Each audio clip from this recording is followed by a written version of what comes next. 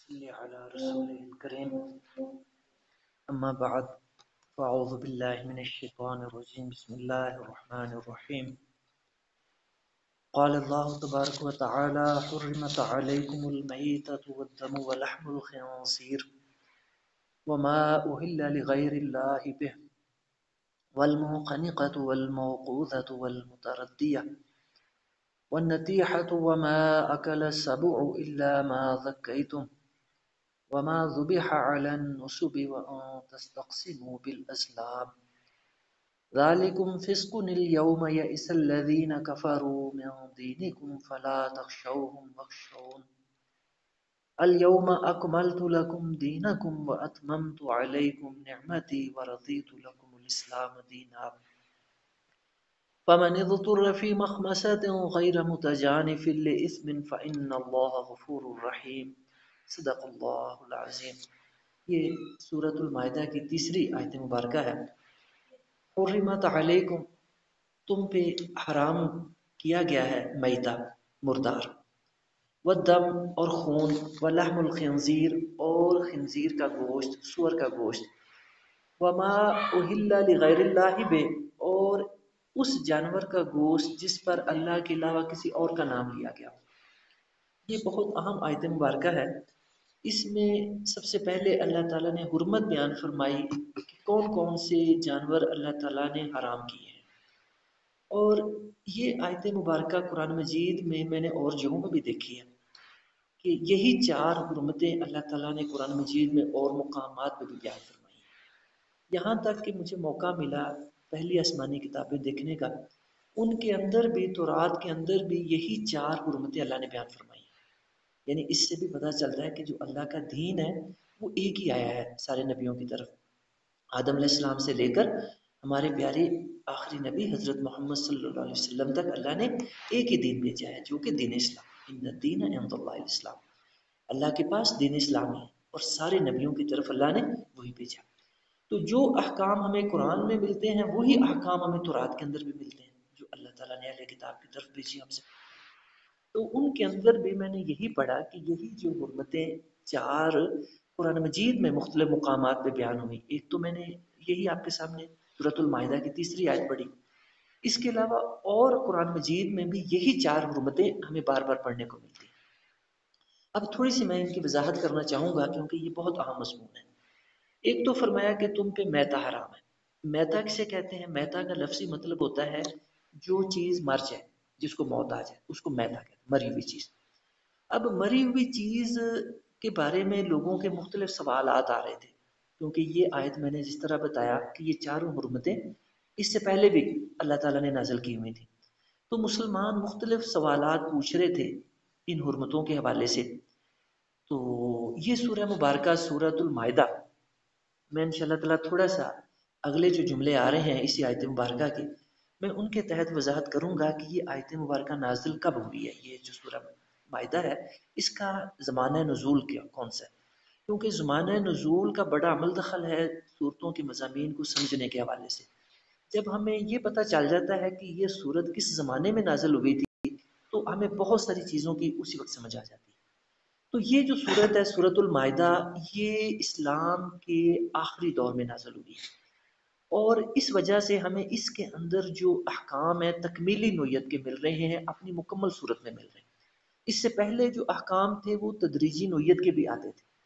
तो उनकी जो तकमीली सूरत है, वो हमें सूरतुल मायदा में नज़र आएगी। किसी भी हुक्म को अल्लाह ताला ने अधूरा नहीं छोड़ा।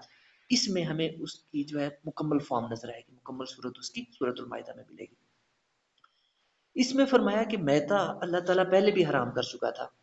लोगों के सवाल आ रहे थे कि एक जानवर है जो तबई मौत मार गया। एक जानवर है, वो ज़िंदगी पूरी होगी, कोई वजह बनी, फौत हो गया। उसको मैदा कहते उसका खून, उसका जो है, गोश्त नहीं खाया जा सकता। उसको मरे हुए जानवर को अगर कोई बंदा जिबा भी करने की कोशिश करे कि अब मैं इसको ज़िबा करके तो इसका गोश्त खा लूँ तो वो हराम है। अल्लाह का हुक्म सिर्फ़ यही नहीं कुरान में अल्लाह ने और मुकाम पे भी यही चारों हरमतें नाजल की हैं। पहले भी नाजल हो चुकी थी। तो लोगों के सवाल थे कि एक जानवर है जो आ, मतलब कि कहीं से गिर गया पहाड़ की चोटी से गिर गया किसी ने धक्का दे दिया वो मर गया। तो क्या वो भी मैदा है?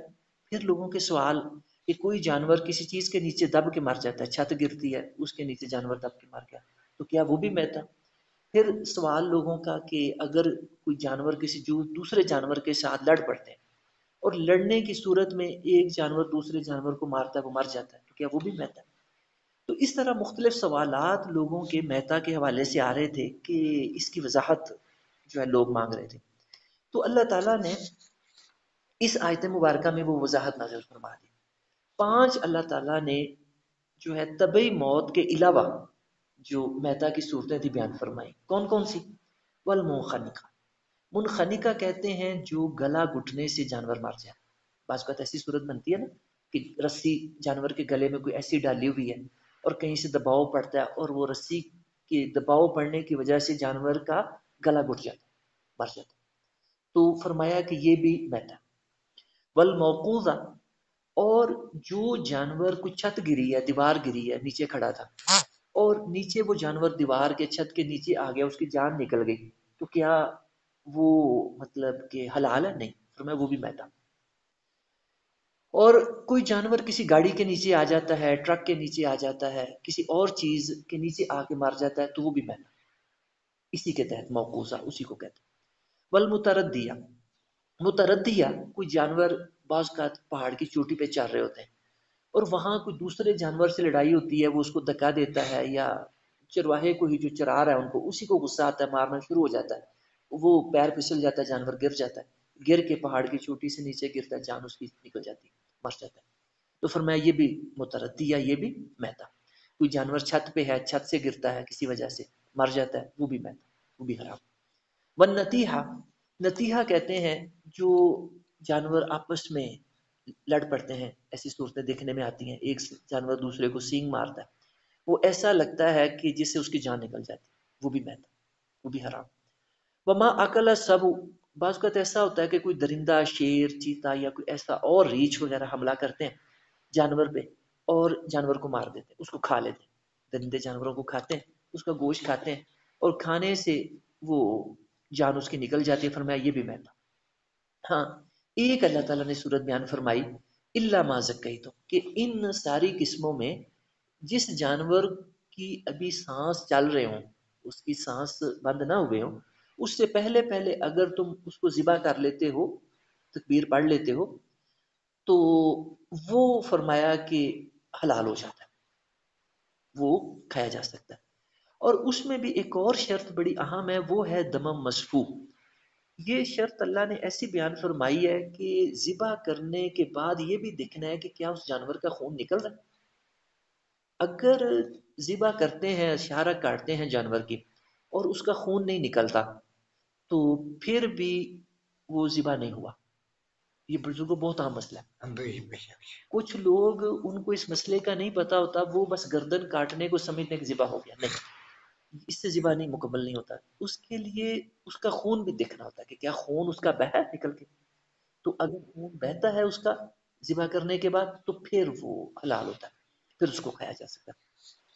ये तो पहली किस्म मैदा की वजाहत जो लोगों के सवाल आ रहे थे, क्योंकि ये आयत, ये हुक्म पहले भी आ चुका था कुरान में।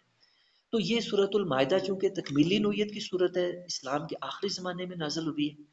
तो इसके अंदर जो लोगों के सवाल थे मुख्तलि मसाइल के हवाले से अल्लाह ताला ने उनके जवाब दे दिए। मेहता के बारे में लोगों के सवाल आ रहे थे।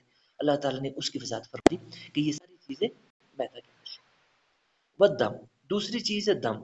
दम को उर्दू में खून कहते हैं। किसी भी जानवर का खून बेशक उसको हलाल करके जिबा करके गोश्त तो खाया जा सकता है, लेकिन उसका खून वो फिर भी हराम।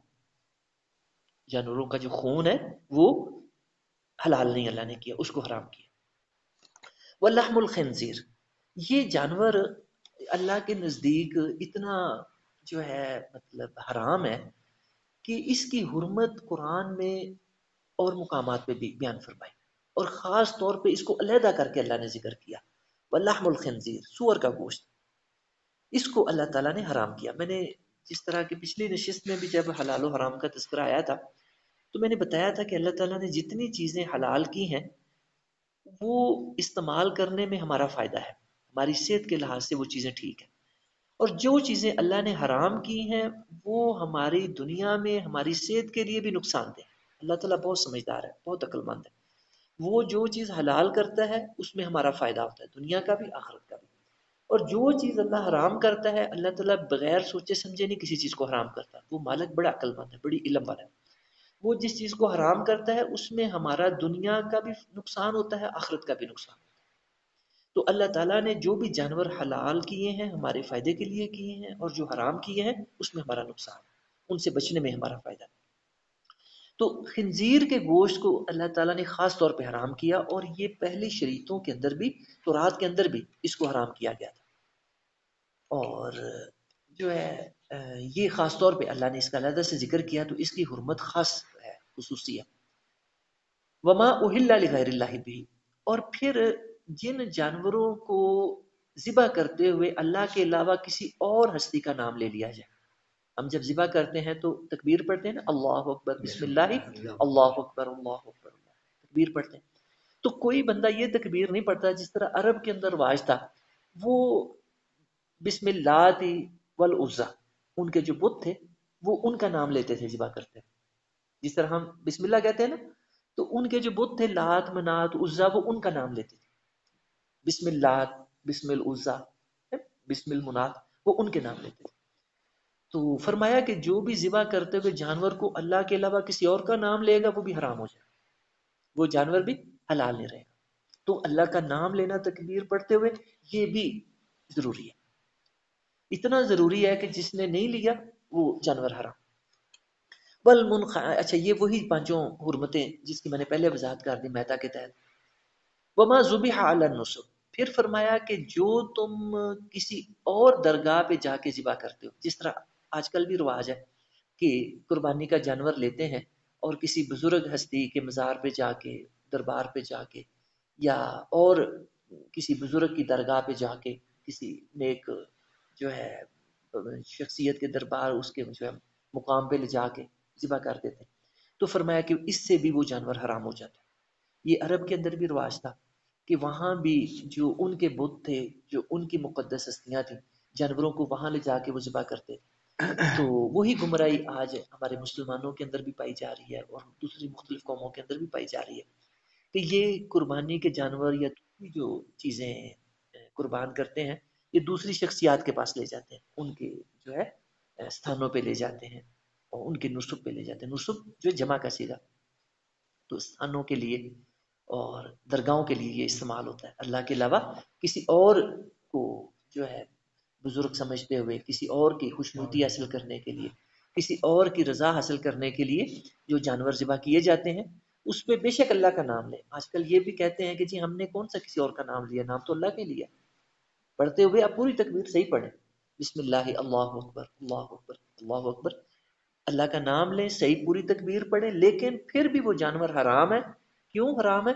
कि आपने उसको किसी और की दरगाह पे ले जाकर जिबा कर। ये इतना अहम मसला है। वह तस्तकसिम बिलस्लाम फिर एक और ये खराबी थी अरब के अंदर कि वो जुए के तीरों के ज़रिए जानवरों को जिबा करके उनका गोश्त तकसीम करते होते जुआ खेलते थे। उसके गोश्त के ऊपर। जानवर को ज़िबा करना उन्होंने। ज़िबा करके गोश्त की डेरियाँ बनानी और फिर उन्होंने जुआ खेलना उनके ऊपर। और जुए के ज़रिए उन्होंने फिर उन डेरियों को जीतना और जीत के तो उन्होंने उसको इस्तेमाल करना।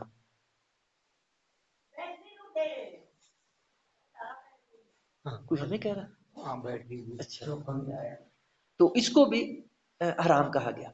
कि जो जुए के ज़रिए गोश्त को तकसीम करना, उसके ऊपर जुआ खेलना तो इससे भी वो हराम हो जाता है। वो गोश्त जो है हलाल नहीं रहता खाने के लिए। जालिकुम फिस्क। फरमाया कि ये सारी जो सूरतें बयान हुई हैं, जालिकुम का इशारा इन सब की तरफ़ है। फिस्क कहा, फिस्क का मतलब होता है निकल जाना।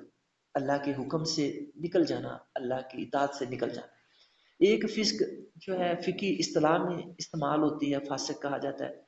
जो गुनागार होता है, नाफरमान होता है।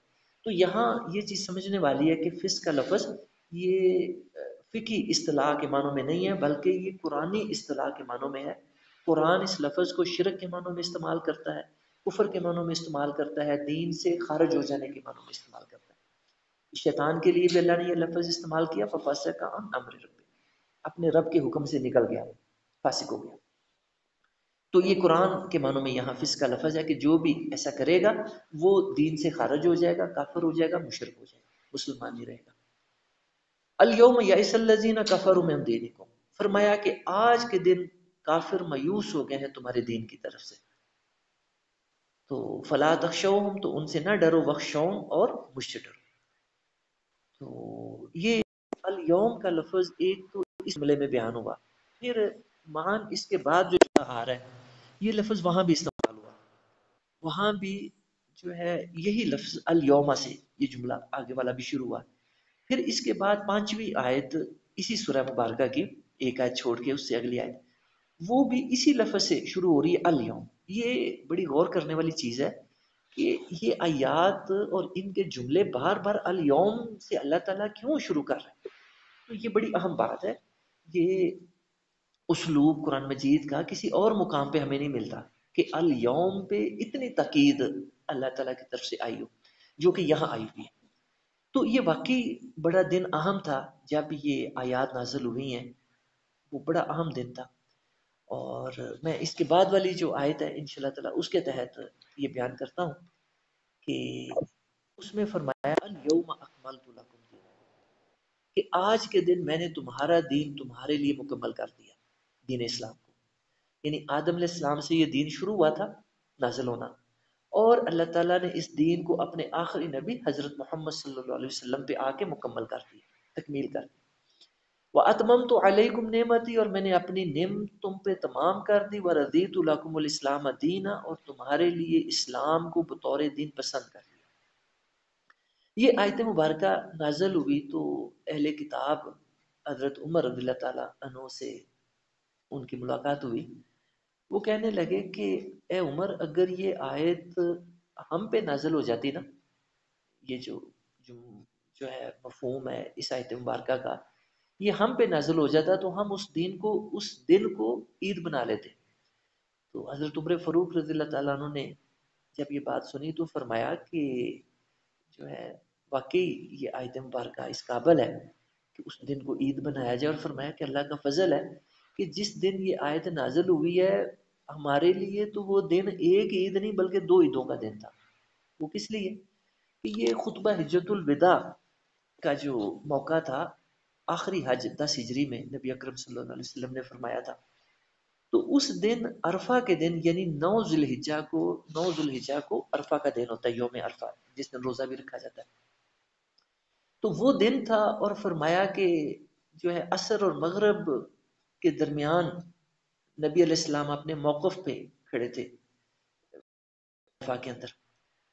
तो मगरब से पहले, यानी अभी मगरब का टाइम नहीं दाखिल हुआ था, उससे पहले का वक्त था कि नबी अकरम सल्लल्लाहु अलैहि वसल्लम पे ये आयात नाजिल हुई। ये सहाबा कराम, माशाल्लाह, उस वक्त कुछ सवा लाख के करीब जमा थे योम अरफा के अंदर। तो जो करीब साहबा थे, उन्होंने मंजर अपनी आँखों से देखा। कि किस तरह से ये आयात नबी अकरम सल्लल्लाहु अलैहि वसल्लम पे नाजिल हो रही थी? और फिर आपने ये साहब कराम को आयात सुनाई कि ये वही अल्लाह की तरफ़ से आई। तो ये इतना अहम मौका था, इतना अहम मौका था जब ये आयात नाजिल हुई। तो एक तो वो ईद अजहा का दिन था, योम अरफा का दिन था, एक वो ईद। और दूसरी अल्लाह की तरफ़ से ऐसा मतलब जो है उस दिन इतफाक हुआ कि वो जुमे का दिन भी था। और जुमे के दिन को भी हमारे लिए ईद का दिन कहा गया। तो एक ईद उल अजहा की ईद थी उसने, और दूसरी ईद जुमे की ईद थी। जुमे को भी हमारे लिए ईद का दिन कहा गया। तो मुसलमानों की इस तरह से उस दिन दो ईदें हो जाती हैं, जिस दिन ये आयात हासिल हुई। तो फरमाया, अल यौम कफारू। ये मौका याद रखा जाए, इसका जमाना नजूल और इसके नजूल का दिन याद रखा जाए। तो फिर इस बात की समझ आती है कि अल्लाह ताला अलयौम पे क्यों इतनी तकीद कर रहा है? फरमाया कि आज का दिन वो दिन है, या इसल्लजीना कफर दीनिकुम, कि आज के दिन काफर तुम्हारे दीन से मायूस हो गए हैं। फला तख्शौहुम। यानी पहले तो उन्हें कोई उम्मीद थी कि कोई मुसलमानों के साथ हमारा कुछ जो है लेन देन का मामला हो जाएगा। कुछ जो है लोग, कुछ दो की पॉलिसी के तहत मुसलमान जो है, कुछ हमारी बातें मान लेंगे, कुछ हम इनकी मान लेंगे तो आपस में जो है, हमारा डील हो जाएगी। और जो है, ये साथ साथ दोनों मज़हब चल जाएँगे, कुफर के भी और इस्लाम के भी। लेकिन अब तक जो अल्लाह के वाजे, दो टोक अहकाम नाजल हो चुके थे, उनकी रोशनी में फरमाया कि अब काफरों को कोई उम्मीद वाबस्ता नहीं रही कि इस्लाम कुछ उनके कुफर के साथ कुछ मुआफ़त कर सकता। कुछ उनके कुफर शिर की चीज़ें लेके, कुछ अपनी चीज़ें लेके तो इनको साथ चला सकता वो मायूस हो गए। अलयमदीन कफर दीन को आज फरमाया, काफर तुम्हारे दीन से मायूस हो गए अब उनको कोई सूरत नहीं अब नज़र आ रही कि ये दीन हमारे कुफर के साथ चल सकता यानी या तो इस दीन का दो टोक तकाजा था कि या तो मुसलमान हो। अगर मुसलमान नहीं होते तो फिर काफर हो जाए। यानी ऐसा नहीं कि ईमान के साथ साथ कुफर को चलाया जा सके। यही मजमून पांचवी आयत में अल्लाह ताला ने खोल के भी बयान कर दिया, वह मई यकफुर बिल ईमान फ़कद हाबित अमल। इसी सूरह मुबारक की पांचवी आयत देखें। इसमें फरमाया, वह मई यकफुर बिल ईमान के जो कुफर को चलाने की कोशिश करेगा, बिल ईमान ईमान लाने के बाद, फ़कद हाबित अमल तो उसके अमाल हबत हो जाएँगे, ज़ाया हो जाएँगे, बर्बाद हो जाएँगे। वह वो फिल आखिरत मिनल खासरीन, और वो आखिरत में खसारा पाने वालों में से होगा। यानी ये दो टोक बता दिया। कि ईमान लाना है तो जिस तरह इसका हक है, उस तरह ईमान लाया जाए। और अगर नहीं लाना तो फिर कुफर में चले जाओ। फिर कुफर ही है। अगर जिस तरह ईमान लाने का अल्लाह का हुक्म है, अल्लाह की डिमांड है जिस तरह से, कोई बंदा उस तरह से ईमान नहीं लाता तो फिर फरमाया कि वो ईमान के अंदर नहीं है, वो कुफर के अंदर है। और यही बात अल्लाह ताला ने कुरान मजीद में दूसरे मुकाम पे भी खोल के बयान फरमाई है। और ईमान वालों को तकीद फरमाई ईमान वालों, अल्लाह के दीन में पूरे के पूरे दाखिल हो जाओ ये अल्लाह का तकाजा है, अल्लाह का मुताबिक और ये बात मैं पहले भी काफ़ी दफ़ा इसकी वजाहत कर चुका हूँ कि अल्लाह ताला को कुफर और ईमान का अमेज़ा पसंद नहीं है कि जिस तरह अहले किताब ने किया, या हमारे अंदर भी बहुत सारे ऐसे ग्रुप पाए जाते हैं जो कुछ चीज़ें दीन की पकड़ते हैं, अल्लाह की पकड़ते हैं, कुछ इधर उधर से पकड़ते हैं, कुछ अपनी ख्वाहिशात की। इस तरह इकट्ठा करके एक नया फिरका बना देते हैं, नया मज़हब बना देते हैं। तो अल्लाह ताला को ऐसा मज़हब पसंद नहीं है, अल्लाह इसको गुमराही कहता है, कुफर और शिर कहता है। और अल्लाह ताला को जो दीन पसंद है, मज़हब पसंद है, वो खालस इस्लाम पसंद है, जो अल्लाह की डिमांड के मुताबिक, अल्लाह की मर्ज़ी के मुताबिक इख्तियार किया जाए, उसके मुताबिक जिस पे चला जाए, वो अल्लाह का पसंद और जो कोई बंदा कुछ हुक्म अल्लाह के लेके, कुछ अपनी मर्ज़ी के लेके दीन बनाने की कोशिश करता है तो उसको अल्लाह गुमराही कहता है, उसको अल्लाह पसंद नहीं करता। तो यही बात यहाँ बयान फरमाई कि पहले तो काफरों को कुछ उम्मीद थी कि हो सकता है किसी मरहले पे, किसी मोड़ पे हमारा और मुसलमानों कुफर और इस्लाम का कोई पैचअप हो जाए, कुछ चीज़ें वो हमारी मान लें, कुछ हम उनकी मान लें तो एक सिलसिला चल पड़े। ये आखिर जो है बारे में सूरतुल काफिरून। उसका मजमून भी इसी चीज़ की वजाहत कर रहा है। कुल याल काफिरून, ए पैगंबर वसल्लम, काफिरों को आप कन्वे करें, इनको बताएँ कि, ए काफिरों, ला आबुदु मा ताबुदु जिसकी तुम पूजा करते हो, मैं उसकी पूजा करने वाला नहीं हूँ। वला तुम आबिदू न मा आबुद और ना ही तुम इबादत करने वाले हो उस खुदा की जिसकी मैं खुद इबादत करता हूँ। वला अना आबिदुम आबदुम और ना ही मैं पूजा करने वाले हूँ जिसकी तुम पूजा करते हो, जिन बुतों की, झूठे खुदाओं की। वला तुम आबिदून मा आबुद, और ना ही तुम इबादत करने वाले हो उस खुदा की जिसकी मैं इबादत करता हूँ। लकुम दीनुकुम, बस अब दो टोक बात यह है कि तुम्हें तुम्हारा दिन जो है मुबारक हो वली दीन, और मुझे मेरा दिन। यानी दीन, इस्लाम और कुफर, इनका पैचअप किसी स्टेज पे नहीं है। आज भी जो लोग इस इन कोशिशों में लगे हुए हैं, ये आलमी सतह पे भी आप देखते हैं, आजकल जो है एक मतलब स्पॉन्सर्ड मूवमेंट चल रही है। क्या उसे कहते हैं बैनुल अदियान जो है ना कोई मुफामत की कोई, इस तरह का कोई नाम है कि जो दुनिया के कुफर और इस्लाम, कुफर के नाम पे जो कितने सारे मज़हब चल रहे हैं उनको और इस्लाम को जो है मिला के कोई इनको जो है पैरल चलाने की कोशिश चल रही हैं, ऐसी मतलब ना मूवमेंट्स आजकल देखने में आ रही हैं इंटरनेशनल लेवल पे और बहुत सारे हम देखते हैं कि हमारे जो नाम नहाद दीन के पेशवा हैं, वो भी उसका हिस्सा बने हुए हैं।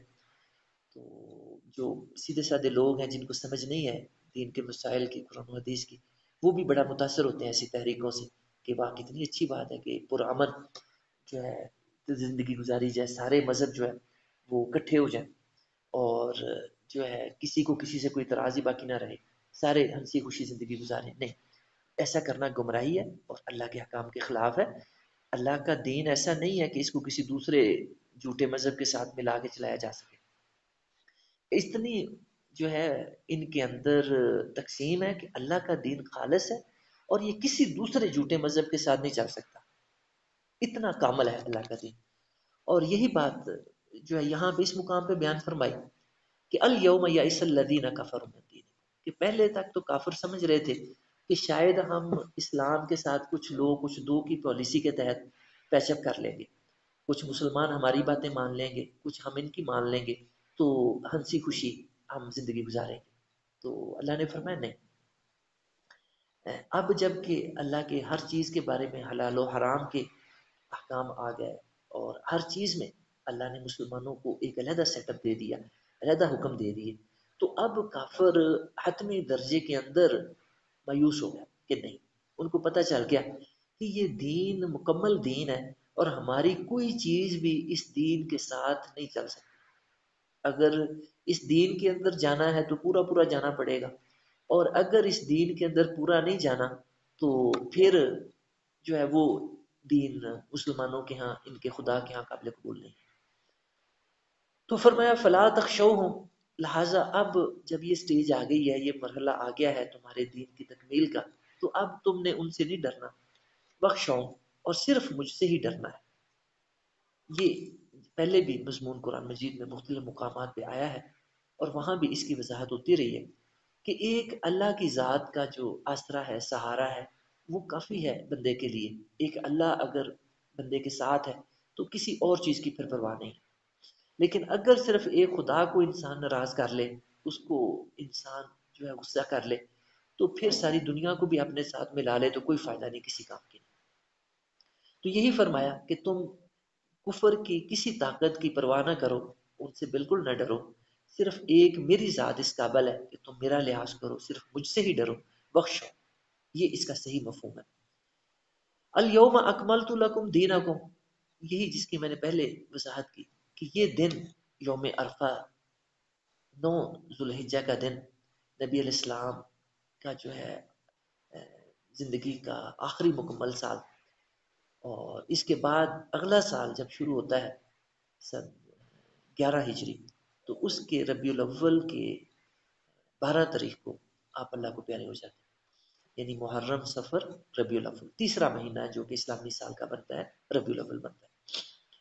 तो उसकी बारह तारीख को आप अल्लाह को प्यारे हो जाते हैं। तो इस लिहाज से मतलब जो दो महीने, बारह दिन, ये ग्यारह हिजरी के बनते हैं और कोई तकरीबन, जो है 21 दिन जुलहिजा के। और 21 और 12 ये तैतीस बन जाते हैं, यानी तीन महीने और तीन दिन नबी अकरम सल्लल्लाहु अलैहि वसल्लम इस वही के बाद हयात रहते हैं दुनिया के अंदर। और तीन माह, तीन दिन के बाद आप अल्लाह को प्यारे हो जाते हैं। तो ये ज़माना है, ये वक्त है इस सूरा के नजूर का। तो ये बहुत बड़ी खुशखबरी है जो अल्लाह ताला ने उम्मत मुसलमान को दी। कि वो दीन जो आदम सलाम से चला था और तमाम नबियों पे अल्लाह ताला तदरीजी तौर पे इस दीन को भेजता रहा तो रात के अंदर भी अल्लाह ने इसी दीन को भेजा, ज़बूर के अंदर भी इसी दीन को भेजा, इंजील के अंदर भी अल्लाह ने इसी दीन को भेजा। इब्राहिम इस्लाम पे जो सहीफ़े आए नूल इस्लाम पे जो सहीफ़े आए, बाकी नबियों पे जो सहीफ़े आए, वो भी इसी दीन की तकमील का हिस्सा थे। और आखिरकार ये दीन तदरीजी मराहल तय करता करता इस जो है पीरियड पे आके मुकम्मल हो गया और उसी की अल्लाह ने खुशखबरी सुनाई कि आज तुम्हारा दीन मैंने मुकम्मल ये बहुत बड़ी बात है। और मुकम्मल करने का ये भी मतलब है कि इसके बाद भी कोई अगर दीन के अंदर कोई चीज़ शामिल करना चाहता है या निकालना चाहता है तो नहीं कर सकता। आज के ज़माने में और इस जो है आयत मुबारक के नजूल के बाद भी लोगों ने बहुत कोशिशें की। दीन के अंदर नई नई बिदात उन्होंने निकाली नई नई तरीके निकाले और नई नई रस्में निकाले नई नई दीन के अंदर उन्होंने चीज़ें इंट्रोड्यूस कराई। कुछ लोगों ने दीन की चीज़ों को जो है रद्द करने की भी कोशिश की, उनको नलीफाई करने की कोशिश की कि ये मौसर नहीं रही, गैर मौसर करने की कोशिश की। तो ये सारी साजिशें अपनी जगह पे, लेकिन अल्लाह के दीन पे कुछ भी फ़र्क नहीं पड़ा। अल्लाह का दीन खालस सूरत पे, जिसके अल्लाह ने वादा फरमाया था सूरत हिजर, आयत नंबर नौ इन्ना नहनु नज़्ज़लना ज़िक्र व इन्ना लहु लहाफ़िज़ून कि ये दीन ये कुरान मैं नाजिल करने वाला हूँ और इसकी हिफाजत का जिम्मा भी मेरे लिए मेरे ऊपर। फिर फरमाया कि वला तो हर एक भी लिसान का लिताजल अब ये आयत नंबर सोलह सूरतुल क़यामा। ला तो हर एक भी लिसान का लिताजल अब इन अलैना जम आहु व कुरान फ़ायदा कराना फतबी कुरान तुम इन अलैना बयान आयत सोलह से लेकर उन्नीस तक। ये चार आयतें सूरतुल क़यामा की उनमें भी अल्लाह ताला ने 75 सूरह नंबर ये यही बात बयान फरमाई। कि इस कुरान की हिफाजत भी अल्लाह कहता है मेरे ज़िम्मे है और इसके मतलब इसके मफाहिम, इसकी तफसीर, इसकी तशरी की जिम्मे भी, ज़िम्मेदारी भी मेरी। तो ये अल्लाह का बहुत बड़ा इनाम है कि अल्लाह ताला ने ये ज़िम्मेदारी अपने ऊपर ले ली। अब जो भी कुरान की तरफ़ आता है, कुरान के करीब आता है इसको सही नीयत के साथ, सही इखलास के साथ समझने के लिए तो वो इससे हदायत पाता इससे हदायत हासिल करता है। लेकिन जो नीयत की खराबी के साथ इस कुरान के करीब आते हैं, पहले से कजी होती है, उनकी नीयत के अंदर अखलास नहीं होता, उनके अंदर तो वो इस कुरान से हदायत नहीं पाते, वो गुमराही ही लेके जाते हैं, क्योंकि वो इसी नीयत से आए होते इन दमल अमाल बिन नीयत, बंदे की जैसी नीयत होती है वैसे ही उसके साथ आगे से सलूक होता है। जो ख़राब नीयत के साथ कुरान के पास आता है तो वो, वही चीज़ें इससे निकाल के लेके जाता है। और जो सही नीयत के साथ आता है, वो हदायत इससे पाता है। ये अल्लाह का वादा भी है कि जो अखलास के साथ कुरान के पास आता है, हदायत हासिल करने के लिए तो कुरान उसको हदायत देता है। तो ये बात अल्लाह ताला ने बयान फरमाई कि दीन मुकम्मल कर दिया। अब इसके बाद अगर कोई जितना मर्ज़ी आलम हो, जितना मर्ज़ी जो है उसका बड़ा मुकाम हो दीन के अंदर, जितनी मर्ज़ी बड़ा बुज़ुर्ग हो, जितनी मर्ज़ी बड़ी हस्ती हो, वो कुरान के अंदर, दीन के अंदर एक ज़रा बराबर भी कोई चीज़ इजाफा नहीं कर सकता। और ना ही किसी चीज़ को दीन से निकाल सकता। किसी का ये अथॉरिटी नहीं है किसी के पास। ये अल्लाह की बहुत बड़ी नेमत है जो अल्लाह ने मुकम्मल फरमा अब ये है, कामयाबी इसी में है कि अल्लाह के मुकम्मल नाजल किए हुए इस मुकम्मल दीन पे चला जाए, इसकी पैरवी की जाए, जो कि इसकी रूह है, जो कि इसका तकाजा है, जिस तरह से, उस तरह से इस पर चला जाए। और जो इसके मुताबिक नहीं इसको चलेगा, बल्कि अपने पीछे इसको चलाने की कोशिश करेगा, अपने पीछे लगाने की कोशिश करेगा तो वो गुमराही में जा गिरेगा। जो इसके अंदर शरय हीले निकालने की कोशिश करेगा, अल्लाह को धोखा देने की कोशिश करेगा तो वो अल्लाह को तो नहीं धोखा दे सकेगा, लेकिन खुद ज़रूर धोखा खा जाएगा, खुद ज़रूर गुमराह हो जाएगा। अल्लाह तला हमें दीन को समझने की सही समझता फरमाए और अल्लाह ताला हमें सही मानों में इसकी सही रूह के मुताबिक अमल की तोफीक अता फरमाए। फमन इस्तुरफी महमसा गैर मुतजानिफिल इस्म फइन अल्लाह गफूर रहीम। तो अब वही मजमून जो पीछे हलाल हराम का चल रहा था, उसी में अल्लाह ने बयान उसी की वजाहत फरमाई कि ये तो अल्लाह ने हलाल को भी वाज फरमा दिया, हराम को भी वाज फरमा फरमाया कि जो कोई ऐसी सूरत हाल मजबूरी की बन जाए कि जो इतनी भूख आ जाए, किसी पे कोई ऐसा कहत आ जाए, कोई ऐसी मरला आ जाए कि जिसमें खाने को कुछ ना मिले और हराम ही बस पड़ा, हराम की जो अल्लाह ने वजात फरमा दी। तो उन हराम चीज़ों में से कोई हराम चीज़ ही पड़ी हो। तो उस सूरत में फरमाया कि जो है इजाज़त अल्लाह की तरफ़ से है कि इस तरारी कैफियत में, मजबूरी के आलम में अल्लाह ताला ने हराम को भी बकदर ज़रूरत, जिससे कि ज़िंदगी की जो मतलब है, वो दौर बरकरार रहे, ज़िंदगी का जो सिलसिला है वो चलता रहे। अल्लाह ने इस कदर इजाज़त दी कि हराम को इस्तेमाल इतना किया जा सकता है कि जिससे जो है मतलब मौत से इंसान बच सके, कि इतने की उसको इस्तेमाल कर ले लेकिन उसमें भी ये शराइत लगा दें कि एक तो फ़ी मखमसा, यानी ये ना हो कि पेट भरा हो और ऐसे ही टेस्ट करने के लिए हराम की तरफ़ इंसान जा रहा तो जो है, इसकी इजाज़त नहीं थी और इसका आगे मजीद फरमाया, गैर मुतजानिफ कि इसम की तरफ़, गुनाह की तरफ़ मिलान ना हो। मुतजानिफ कहते हैं, मिलान होना किसी चीज़ की तरफ़ मायल हो जाना। गैर मुतजानिफ कि मिलान ना हो ले इस गुनाह की तरफ़। यानी जो हराम को इस्तेमाल करने की अल्लाह ने मजबूरी के आलम में, इस तरारी कैफियत में इजाज़त दी तो वो भी फरमाया कि इस तरह नहीं कि तुम गुनाह की तरफ़ मिलान अपना कर बैठो और मज़े ले ले के हराम को खाना शुरू कर दो, ऐसा नहीं। बल्कि उसको उसके मुकाम पे रखते हुए इस्तेमाल करो कि उसको हराम समझते हुए कि ये चीज़ असल में हराम है और अल्लाह ताला ने मुझे ये भूख के आलम में कि मैं मतलब जो भूख की वजह से जान ना चली जाए और दूसरा नुकसान ना इंसान का हो ज़िंदगी का तो उसमें अल्लाह ने इजाज़त दी है और गैर मुतजानिफिल इसम कि गुनाह में मुबतला नहीं होना, सिर्फ़ उतनी हराम चीज़ इस्तेमाल करनी है जिससे ज़िंदगी बच सके। और उसको मज़े ले ले के खाने की इजाज़त नहीं है। अगर कोई ऐसा करेगा तो वो अल्लाह की नाफरमानी करेगा। फ़िन अल्लाह गफूर रहीम। और जो है, ये आयत मुबारक का मौका महल समझना भी इस जुमले का बड़ा ज़रूरी है कि जिस इंसान को इजाज़त दी गई हराम खाने की, इस करारी कैफियत में, भूख के अंदर, मजबूरी के आलम में तो फरमाया कि वो इसको खूब हलाल ना समझे, उसको खूब बड़ी अच्छी पसंदीदा चीज़ ना समझे बल्कि अल्लाह से इस्तफार करता रहे कि अल्लाह, ये है तो चीज़ हराम, लेकिन मैं इसको मजबूरी के आलम में इस तरारी कैफियत में इस्तेमाल कर रहा हूँ तो मुझे माफ़ भी फरमा दे अल्लाह से मफरत भी मांग। अल्लाह रहीम। तो अल्लाह ताला ऐसी सूरत में बख्शने वाला रहमत फरमाने वाला ये सलून का मादा ए पैगंबर सल्लल्लाहु अलैहि वसल्लम, आपसे सवाल करते हैं कि इनके लिए क्या हलाल है? तो जिस तरह मैंने पहले पिछली नशिस्त में भी बयान किया था कि अल्लाह ताला का जो सवाल बयान करने का उसलूब है, वो बड़ा यूनिक है। अल्लाह ताला सवाल इतना मुख्तसर बयान करते हैं कि बंदे को पूरी समझ नहीं आती कि पूछने वालों ने क्या पूछा था, पूरा सवाल क्या किया था। तो वो हमें अल्लाह ताला के जवाब से समझना पड़ता है कि पूछने वालों ने क्या चीज़ असल में पूछी थी। तो ऐसे मुकामात कुरान भी आते हैं कि जिसमें सिर्फ़ ये सलूनक इतना ही अल्लाह ताला कह रहे आगे अल्लाह ताला कुछ नहीं बयान करता कि क्या पूछा।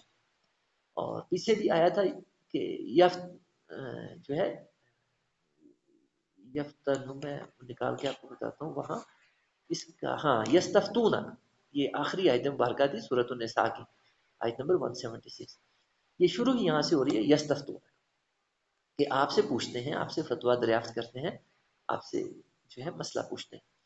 तो कुछ नहीं बताया कि क्या पूछ रहे फिर आगे जवाब से ही कारी को समझना पड़ता है, कुरान के तालब इलम को समझना पड़ता है कि पूछने वालों ने क्या सवाल पूछा तो यहाँ भी बड़ा इख्तसार के साथ अल्लाह ताला ने सवाल का ज़िक्र फरमाया सालूना का आपसे सवाल करते हैं, माजा उहिल्लाहम कि उनके लिए क्या चीज़ हलाल है।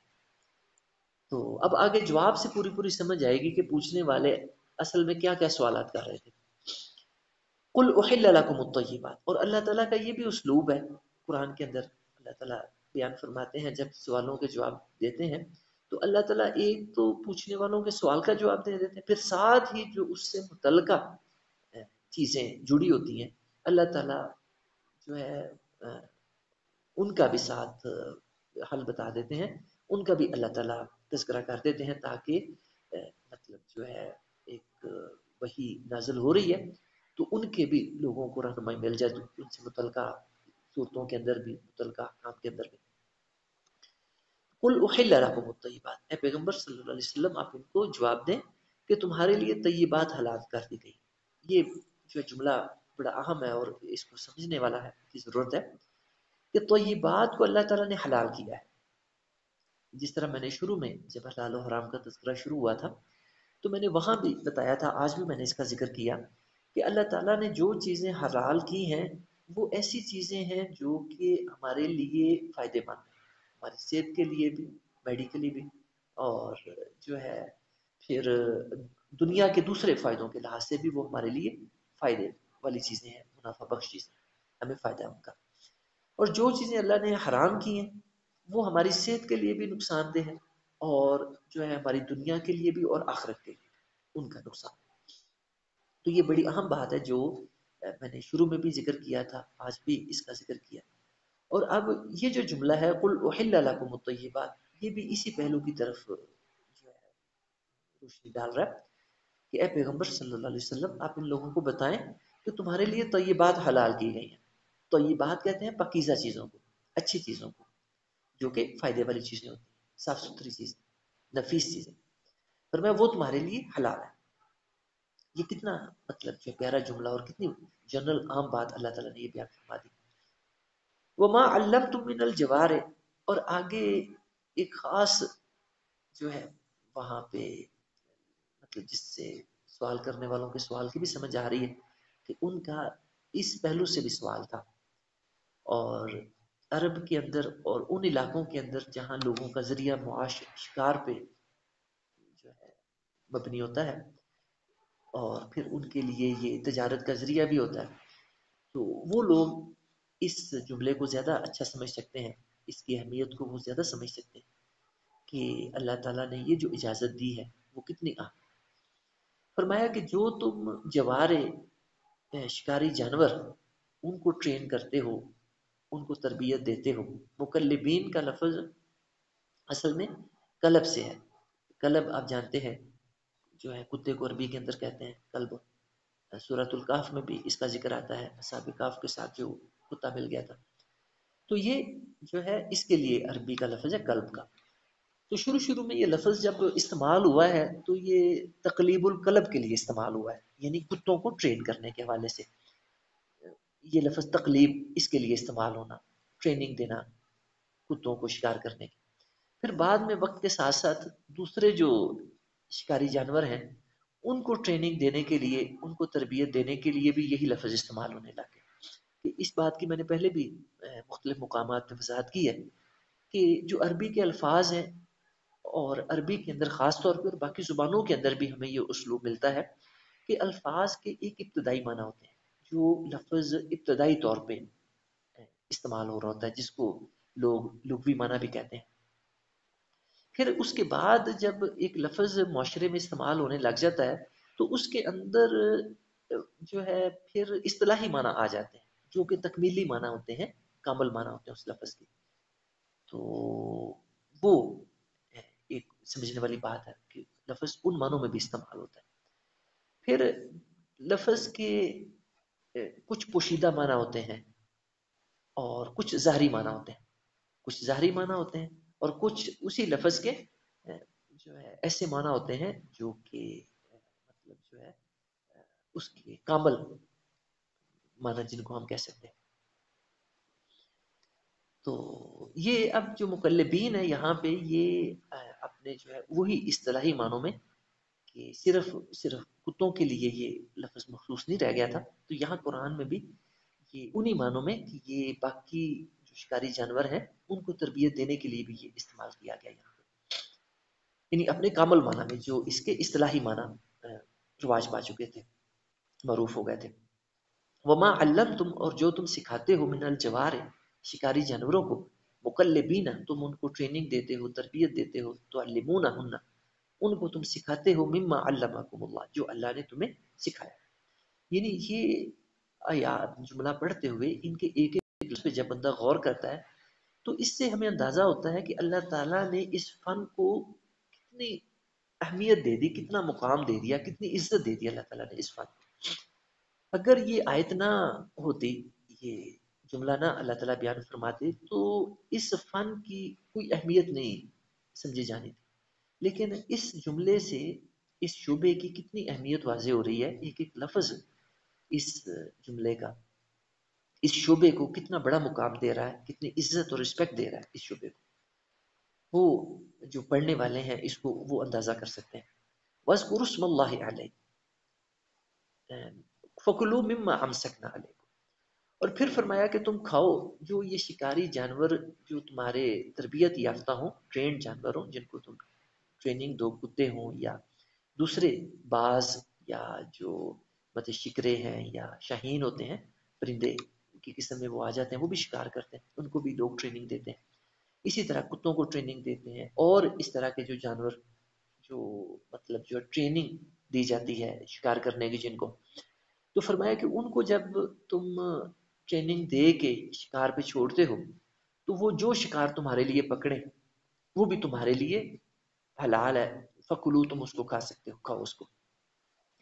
वसकुरस्मल्ला ये बात समझने वाली है कि तुम अल्लाह का नाम उस पर ले लिया करो। अब ये जो अलह ही की ही है ज़मीर मजरूर है, इसका मर्ज मुफसरीन ने जो है वो मुख्तलिफ़ चीज़ों को बयान किया है, लेकिन जो इसमें मतलब कि यहाँ आयत के मौका महल से, मुनासबत से जो इसका मर्ज सामने आता है, वो वही शिकारी जानवर है।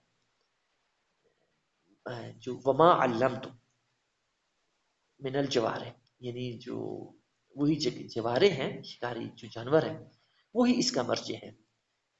और यहाँ इसका मौका महल ये बनता है, बात का मफहूम ये बनता है कि जब उनको शिकार पे तुम छोड़ो तो छोड़ते हुए तुम अल्लाह का नाम ले लिया करो। बस गुरुस्मल्ला जब उनको शिकार पे छोड़ो, बाज को या शाहीन को या शिकरे को या जो ट्रेन, दूसरे जानवर हैं उनको जब तुम शिकार पे छोड़ने लगो तो अल्लाह का नाम ले लिया करो। उसका ये फ़ायदा होगा कि अगर वो शिकारी जानवर जो है, उसको पकड़ते हैं शिकार को, और उस दौरान वो शिकार जो है, उसकी रूह कब्ज हो जाती है, वो मर जाता है तो वो मैता में शुमार नहीं होगा, बल्कि वो हलाल शुमार होगा और उसको गोश्त उसका फिर खाया जा सकता है। ये मतलब बहुत बड़ी चीज़ है जो अल्लाह ताला ने बहुत बड़ी रायत है जो इस आयत मुबारक में दी है। व तकुल्ला और अल्लाह का तकवा इख्तियार करो, जो कि कुरान मजीद में जा बजा हमें तलकीन मिलती है अल्लाह ताला के इस फरमान की, तकवा इख्तियार करने की। और इसकी मैं वजाहत करता रहता हूँ कि क्या इसका मफहूम है। इन अल्लाह सरी हिसाब, बेशक अल्लाह ताला बहुत जल्द हिसाब लेने वाला, सरी कहते हैं जल्द को। जिसके अंदर तखीर ना पाई जाए। इन अल्लाह बेशक अल्लाह ताला हिसाब लेने में बहुत सरी है बहुत जो है अल्लाह ताला क्विक हिसाब लेता है। यानी तखीर नहीं अल्लाह ताला करता। एक तो कानून इमहाल अल्लाह का जो है वो चल रहा होता है इंसानों के साथ। और लेकिन जब कानून इमहाल की मुद्दत पूरी हो जाती है यानी जब रस्सी जो अल्लाह ताला ने दराज की होती है वो जब तन जाती है उसकी लिमिट पूरी हो जाती है। तो फिर एक सेकंड भी तखीर नहीं होती, अल्लाह की जो है, हिसाब लेने में, अल्लाह की तरफ़ से बास पुरुष करने में एक सेकंड की भी तखीर नहीं होती। ना ही एक सेकंड की ताजील होती है, उससे पहले वक्त आता है, तकदीम होती है और ना ही तखीर होती है। जो एन वक्त लिखा होता है, अल्लाह की तरफ़ से बिल्कुल उस वक्त पे हिसाब आ जाता है, अल्लाह ताला हिसाब ले लेता है। तो लिहाजा ये जो मोहलत अल्लाह ताला दे देता है नाफरमानी करने वालों को तो वो इस पे बड़े जो है खुश ना हो कि मतलब ये जो है वो ये ना समझें कि शायद हमसे पकड़नी होगी, बल्कि ये अल्लाह की तरफ़ से रस्सी दराज की गई होती है। और जो उसका टाइम आ जाता है, रस्सी जब तन जाती है, उसकी लिमिट पूरी हो जाती है तो फिर एक सेकंड की भी तखीर नहीं होती अल्लाह के हिसाब में अल्लाह के हिसाब में फौरी अल्लाह की फिर पकड़ा जाती है। एंड टाइम पे आती है। उसी का बयान फरमाया इन अल्लाह कि अल्लाह ताला हिसाब के अंदर तखीर नहीं करता। बल्कि क्विक है हिसाब लेने के अंदर, जब ही उसका टाइम आता है तो फौरी अल्लाह ताला हिसाब ले लेता है। फिर वही चीज़ जिसका मैंने शुरू में ज़िक्र किया था कि अलयौम, ये तीसरी जो है, मरतबा है कि इन्हीं आयात के अंदर अल्लाह ताला इसका ज़िक्र फरमा रहे हैं। और उसकी वजह भी मैंने अभी बयान फरमाई। कि वो दिन वाकई बड़ा अहम था कि सवा लाख के करीब मुसलमान योम अरफा में जमा थे और नबी इस्लाम की हयात मुबारक का पहला और आखिरी हज था। और आप जब हज के मसाइल लोगों को सिखा रहे थे तो साथ बता भी रहे थे कि लोगों, देखो, मुझे नहीं उम्मीद कि मैं अगले साल तुम्हारे अंदर होगा हज के मौके पे। लिहाजा तुम, जो है, हज के जो मुनासिक हैं, हज का तरीका है, मुझसे सीख लो। तो फिर लोग, जो है, आपसे जो जो भी उनके मसाइल थे हज करने के हवाले से आगे सवाल कर रहे थे, आप उनके जवाब दिए जा रहे थे। तो फरमाया कि आज का दिन ओहिल्लाकुमतयबात तुम्हारे लिए तयबात हलाल कर दी गई। अब यही चीज़ पिछली आयत मुबारक में भी आई थी, यही जुमला। यानी वहाँ फरमाया था, चौथी जो आयत है, इसी सूरा की, पिछली आयत जिसको हमने अभी पढ़ा। वहाँ फरमाया, कुल ओहिल्लाकुमतयबात यही जुमला। यहाँ फरमाया अल यौम ओहिल्लाकुमतयबात यही वहाँ कुल से शुरू हो रहा था ये जुमला। और यहाँ अल से। बाकी बिल्कुल सेंट परसेंट वही अल्फाज हैं जो पिछली आयत में बयान हुए तो अल्लाह ताला जब भी किसी आयत को, किसी जुमले को, किसी बात को रिपीट करते हैं, दोहराते हैं तो अल्लाह ताला बिला वजह नहीं दोहराते।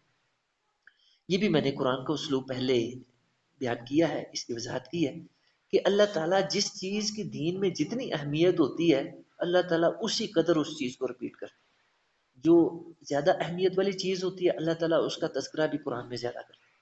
और जो चीज़ कम अहमियत की होती है, उसका तस्करा भी आमतौर पर कम किया जाता है। तो ये आयत मुबारक जो दोबारा अल्लाह ताला ने यहाँ पे दोहराई, पिछली आयत में भी इस जुमले को अल्लाह ताला लेके आए, और इस जुमले के आगाज़ में ही अल्लाह ताला इस जुमले को ले आए, और यहाँ अलयौम का लफ्ज भी ले आए। यानी इससे भी अंदाज़ा हो रहा है कि ये जुमला कितना अहम है। कि आज के दिन मैंने तुम्हारे लिए तो ये बात पाकिजा चीज़ें, अच्छी चीज़ें, नफीस चीज़ें, तयब चीज़ें हलाल कर अब जो है, यहाँ जो अल्लाह ताला इस जुमले को इस पांचवी आयत के शुरू में लेके आए हैं तो अब ख़ास तौर पे नज़र रखनी है कि इसके बाद कौन सी चीज़ें हैं जिनको अल्लाह ताला तयब कह रहा है और हलाल कर उससे समझ आएगी कि अल्लाह ताला यहाँ पे इस जुमले को क्यों लेके आया। क्यों इस जुमले को यहाँ पे आयत के शुरू में अल्लाह ताला ने कोट किया? तो ये मजमून बड़ा अहम है जो इस आयत में हलाल हराम का अल्लाह ने बयान फरमाया और बड़ा समझने से तो अल्लाह रखता है। तो हम उसको अभी पढ़ते हैं तो फिर पता चलेगा कि ये जुमला अल्लाह ताला इस आयत के शुरू में क्यों ले आए और अलयौम की तकीद के साथ। फरमाया वह तआमुल्लज़ीन ऊतुल किताब कि ताम खाने अहले किताब के तुम्हारे लिए हलाल है।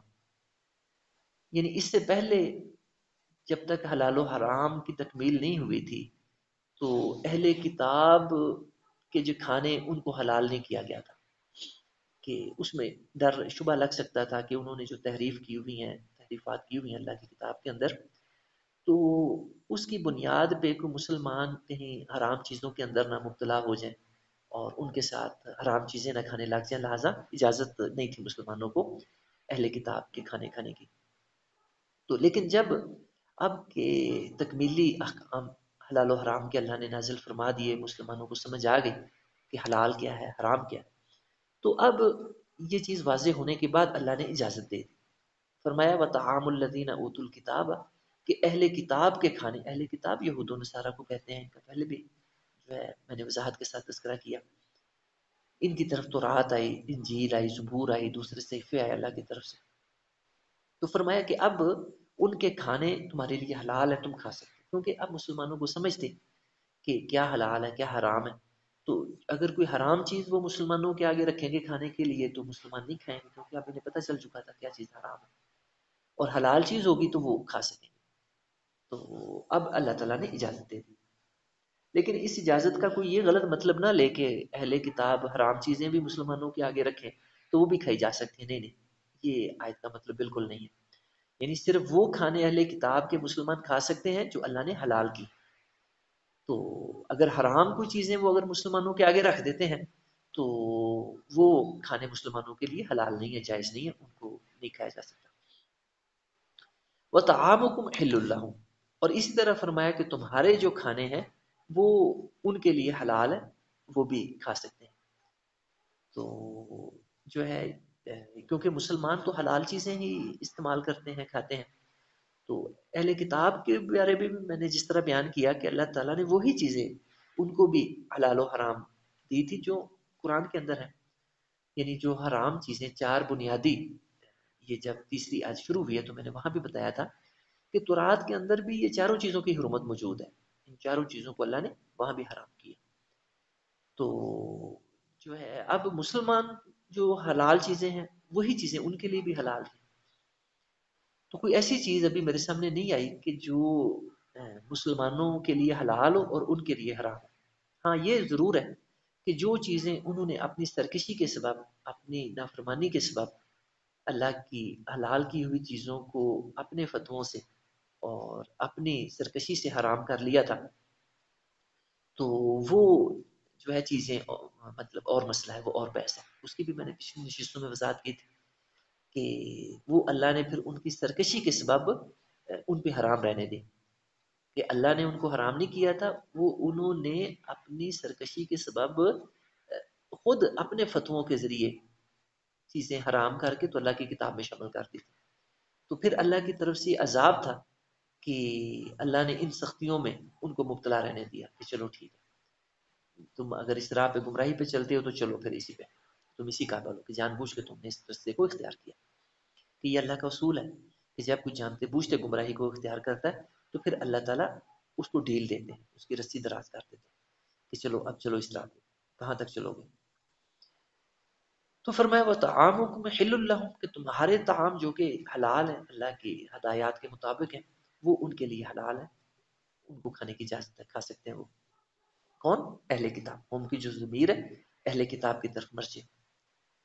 वल मुहसनात मिनल और मोहसनात जो मोमिनात हो। मोहसनात का लफज जो है, ये पीछे भी इसका तस्करा आया था, जहाँ पांचवा पारा शुरू हुआ था। तो वहाँ मैंने इस लफ्ज़ की वजाहत की थी कि इसके मुख्तलिफ़ माना वहाँ पे बयान हुए थे तो मैंने वजाहत की थी कि किस मुकाम पे इसका कौन सा माना लग रहा है। तो यहाँ मोहसनात का माना लग रहा है जो ख़ानदानी औरतें होती हैं। ख़ानदानी, गैर मनकूहा औरतें। वो मोहसनात का यहाँ मना मुराद है। मिनल मुमिनात, ईमान वाली जो मोहसनात हैं, पारसा ख़ानदानी औरतें हैं, पाकबाज औरतें हैं, गैर शादीशुदा, गैर मनकूहा। वल मोहसनात मिनल्लदीन उतुल किताब। और यहाँ दूसरा मोहसनात का लफ्ज़ जो आया है, ये भी इन्हीं मानों में आया है, जिनमें ये पहला लफ्ज़ आया लेकिन यहाँ जो है मुसनात इमाम मुसलमानों में से नहीं, बल्कि बिनल्लदीन उतुल किताब में कबल अहले किताब अहले किताब से मुराद यूहूद ने सारा फरमाया कि उनकी जो मुसनात हैं, जो उनकी भी ख़ानदानी पाकबाज एक औरतें हैं गैर मनकूहा जो कि गैर शादीशुदा है इज़ा आते तो मुँह उजूर यानी अल योम उहिल्ल लकुम तय्यबात और व तामुल्लजीन उतुल किताब हिल्लुल्लाकुम व तामुकुम हिल्लुल्लाहुम ये जो हिल का लफ्ज़ बार बार पहले आ चुका है यहाँ भी वही अंडरस्टूड है कि जो मोहसनात ईमान वाली हो या मोहसनात जो कि अहले किताब में से हो फरमाया वो भी तुम्हारे लिए हलाल है लेकिन शर्त क्या है इज़ा आते तो मुँह न उजूरा जब तुम उनके हक महर उनको अदा कर। इनकी वजाहत हक महर की पहले मतलब जो है, ये मजमून भी मुख्तलि मुकाम पे आ चुका है और मैंने वहाँ इसकी बड़ी वजाहत की थी कि इनसे क्या मुराद है। इदा आते ही तुम उजूरा हन्ना ये भी लाजमी शर्त है निकाह की अदा करना मर्द की तरफ़ से। मोहसिन और मकसद मोहसिन हो, निकाह करना हो और इसके भी जो मसाइल पहले आए थे मैंने वहाँ भी तफसील के साथ बताया था कि निकाह के बारे में अल्लाह ताला की क्या मंशा है और अल्लाह ताला इसको क्या मुकाम देता है, क्या हैसियत देता है। मैंने तफसील के साथ पहले नशस्तों में इनका तस्करा किया हुआ है। गैर मुसाफिन और ये भी मजमून पहले आ चुका है, वहाँ मैंने इसकी भी वजाहत की थी कि निकाह का जो मकसद है, वो ज़िंदगी भर का जो साथ निभाने का, वो एक बड़ा पुख्ता एग्रीमेंट होता है माहा होता है। वो निकाह है। और गैर मुसाफिन जो वक्ती शहवत रानी है, जो वक्ती जिस बात की तस्कीन है, वो इसका मकसद नहीं होता। और वही अल्लाह ने इन अल्फाज के ज़रिए बयान फरमाया गहरा मुसाफिन कि ये इसका निकाह का मकसद नहीं होता। वला मुतखी अखदान, और ना ही जो पोशीदा आशराइयाँ जो मर्द औरतें आपस में कायम करके बैठ जाते हैं छुप छुप के जो है ख़तो किताबत जारी रखते हैं, मैसेजेस करते रहते हैं छुप के अपने तोलकात बनाने की कोशिश करते हैं। तो ये भी चीज़ अल्लाह की नज़र में पसंदीदा नहीं है। अल्लाह ने इस चीज़ को पसंद नहीं किया, इसकी इजाज़त नहीं दी। फरमाया कि पोशीदा, छुप और छुप के जो मर्द, औरत आशनाइयाँ कायम करते हैं तो ये भी अल्लाह की स्कीम के ख़िलाफ़ चीज़ है। अल्लाह को ये चीज़ पसंद नहीं है। अल्लाह की जो है, इसकी अल्लाह ने इजाज़त नहीं दी। इसको नापसंद फरमाया। वमन यकफुर बिल ईमान फ़कद हबित यही चीज़ मैंने जब पहले वजाहत कर रहा था इस मुकाम की कि अलयौम यसल्लदीन कफर तो वहाँ मैंने, वहाँ से उठ के इस मुकाम पे आ गया था मैं, और मैंने वजाहत की थी कि ईमान के साथ कुफर का क्या मतलब है? कि हम ईमान भी ले आते हैं, अपने आप को मुसलमान भी कहते हैं, लेकिन ईमान और जो है इस्लाम के दावे के साथ साथ हम जो कुफर के काम करते हैं तो उससे हमारा ईमान जो है खतरे में बढ़ जाता है। ईमान उस वक्त बाकी नहीं रहता। जब हम ईमान के दावे के साथ कुफर के काम करने लग जाते हैं। फ़कत हबित अमल तो ऐसे कुफरिया काम ईमान के साथ साथ अमलों को ज़ाया कर देते हैं। वह वह आखरत मिनल खासरीन, और ऐसे जो लोग हैं, आखरत में सारा उठाने वालों में शुमार होते हैं। तो अल्लाह ताला हमें सही दीन की समझ अता फरमाए। और अल्लाह ताला अमल की तोफ़ी अता फरमाए व आखिर दावाना अनिल हम्दुलिल्लाहि रब्बिल आलमीन